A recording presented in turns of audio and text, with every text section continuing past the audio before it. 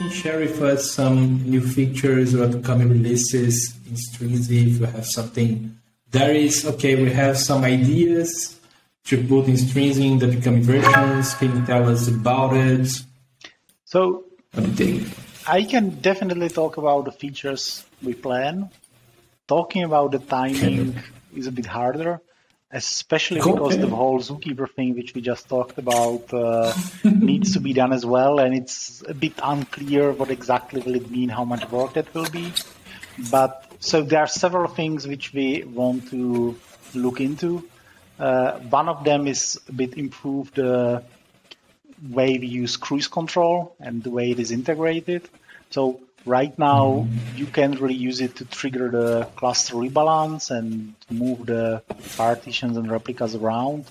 But ideally, we would want to integrate it a bit tighter and use it also, for example, to change replication factors of topics, which uh, we don't currently support in the in the topic operator, but also have it, for example, better integrated into scale downs and scale ups so that, for example, when you need, uh, it's not necessarily something you do twice per day to scale the Kafka cluster up and down, but when you need it to have the, the partitions and replicas moved uh, automatically without having to do it manually.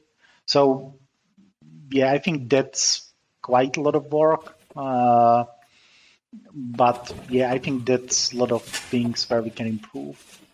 Uh, Another thing uh, which I'm personally quite excited about is I think we will try to have a look at getting rid of the stateful sets.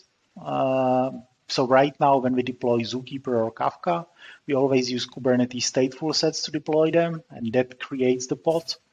But so we want to have a look at if we can get rid of the stateful set and manage the pods directly. Uh, and that should then also help us to play a bit more with things like multi-cluster deployments. Uh, uh, so that, for example, you have some Kafka brokers on one Kubernetes cluster, other brokers on different cluster, and, and things like that. So I think that's uh, that's quite exciting, at least for me personally. Uh, and just to be clear, these are really more long-term goals, right? To get there, that definitely takes many releases and many months of work. It's unfortunately not something what will be in the next release. Uh, uh, something what we also wanted to have a look at. We have the we have the connector operator for managing the connectors, and in the I think it was 020 release we added this declarative Kafka Connect build where you can declare all the jars or zips with the connectors directly in the Kafka Connect resource. And I think it would be quite cool if you were able to have on the website some catalog for the connectors where you really see the configurations and you can just copy paste them from there basically. Uh, there's also uh, uh, some things which are kind of coming in Kafka and we want to look at it. The the tiered storage, which I think should come with 3.0 as well. That's I think interesting feature, and that would be nice to have. And also, uh, uh, I'm also involved a bit with the AMQP uh, technical committees, which are the Oasis organization, and there we worked uh, or I was really more reviewing and commenting on it. But there's a work on uh, AMQP event streaming specification, which would allow to use the AMQP protocol to uh, access event streaming platforms such as Kafka.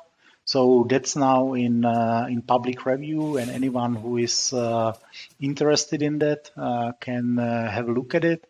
And then once it's approved, or hopefully even before that, we should implement it into the uh, bridge which we have in Strimzi, uh, where uh, you should be then able to use it. We already have there some support for, for AMQP bridging, but we want to make sure that it follows this this specification. So that's more kind of the the long term view. Uh, on on the, in the more short term, uh, what to look into for the next release. Uh, the main focus on the next Strimzi release is really to finish the move to the custom resource definitions version 1, which will be required for Kubernetes 1.22. So that's really the the main focus there, and uh, I hopefully would like to start work on that fully, or I mean work on the releasing the new release, uh, hopefully next week, uh, and make sure that everyone is ready and is using that uh, uh, before Kubernetes 1.22 are released, obviously.